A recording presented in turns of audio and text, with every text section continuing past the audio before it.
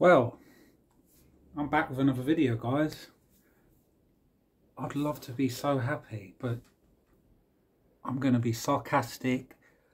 I'm probably going to be annoying about this video, and it's about Eddie Nketiah. He's calling everyone.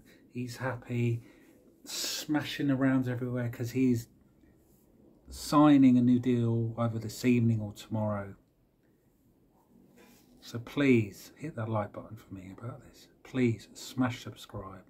And if you'd like to support my channel, next to the share button is a thing called thanks. Click it. Any Anything will help and I'll be really, really appreciative. And obviously I'll reply to that if you donate. Eddie Nketiah is going to be staying with Arsenal, according to Fabrizio and some other David Ornstein and a few others.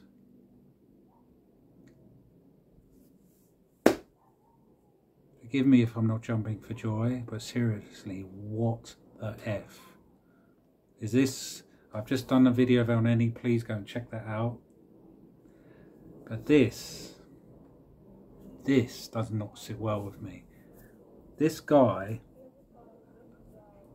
was on a loan um, at Leeds and he could even start. He's scored five goals all season. And his whole, we had a chance to sell him for 20 million pounds to West Ham and he's been holding our club for ransom. And now Arteta's begged him to stay. I can't take it anymore. I thought when the season's over, things were supposed to be chilled and relaxed. But Elneny signs a new contract and uh, and Ketty is on the verge of one. Or, or is signing one or has signed one as we speak.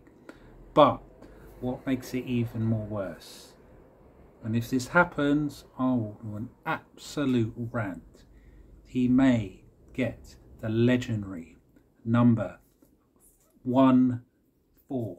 One four. Now, if you don't know who that is, don't watch the rest of this video. Number 14. That's why I don't go, man. It's just, the club is just takes the piss. Eddie Nketiah getting a new contract. Is that, is that, we, do we want to go up in the table? Do we want to improve as a football club? Do we want to elevate ourselves up? Clearly not, because this is just absolute rubbish. Eddie Nketiah was struggling at Leeds, and he's a good had a good few purple patches. Just because he had a brace against Chelsea, what he gets a new deal? I need to have a. God, just calm down. I would love to know your thoughts. Eddie Nketiah leave in the comments below. Are you happy that he's about to or has signed a new contract?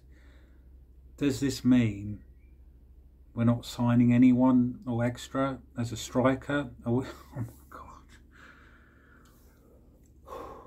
I'm trying to remain calm. I know you'd like to see me rant, but I've done so much ranting on YouTube. Go check loads of those before. But Eddie Nketiah is staying at Arsenal.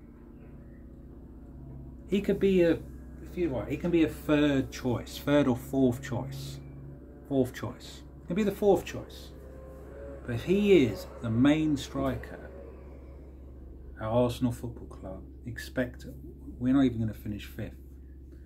We'll be lower. I thought Arsenal were going to do their business early. I mean, I know it is, a, but we're not hearing or seeing. All we're seeing is about players that should be leaving the football club. So unless, like I said with my own video, unless Eddie Nketiah is signing a contract to then be sold, which I highly doubt it, because this manager, who is not my manager, a lot of other people's manager, begged him to stay. ah, so yes, Eddie Nketiah is staying at Arsenal leave it in the comments below.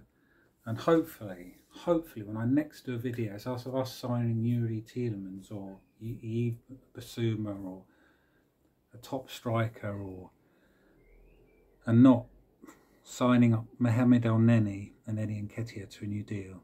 Smash that like button like Arsenal getting doing their business. Subscribe if you're new. Click the thanks button to donate. And yeah, I'll see you a lot soon. I'm out of here.